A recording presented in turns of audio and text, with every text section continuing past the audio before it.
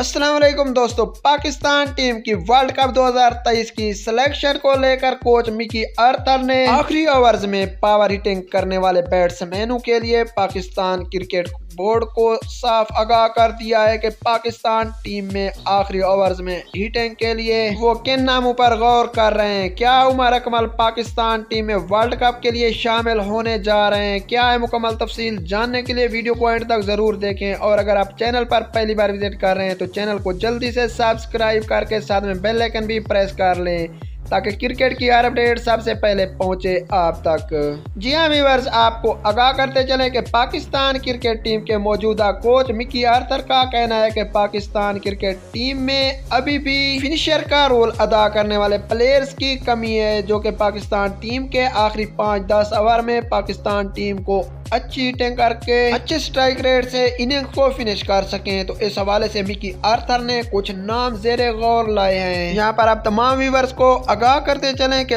उमर अकमल की टीम में जगह न बनने की वजह भी अभी तक मिकी आर्थर ही थे, क्योंकि 2019 के वर्ल्ड कप से लेकर मिकी आर्थर और उमर अकमल के दरमियान नहीं बन पाई, जिसकी वजह से उमर अकमल अभी तक पाकिस्तान टीम में शामिल नहीं हो सके थे। लेकिन अब ऐसा लगता है कि मिकी आर्थर, उमर अकमल को को पाकिस्तान टीम में लाने के लिए कोशा हैं क्योंकि पाकिस्तानी कोच मिकी आर्थर का कहना था कि पाकिस्तान, उमर अकमल, शाहिद अफरीदी और अब्दुल रजाक के बाद पाकिस्तान टीम में फिनिशर कोई भी अच्छा नहीं ला सकी।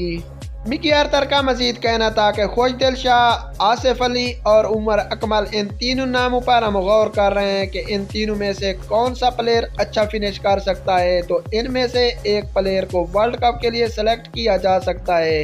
इन तीनों प्लेयर्स में से आपका फेवरेट प्लेयर कौन है? और कमेंट बॉक्स में हमें अपनी कीमती राय से ज़रूर आगाह करें।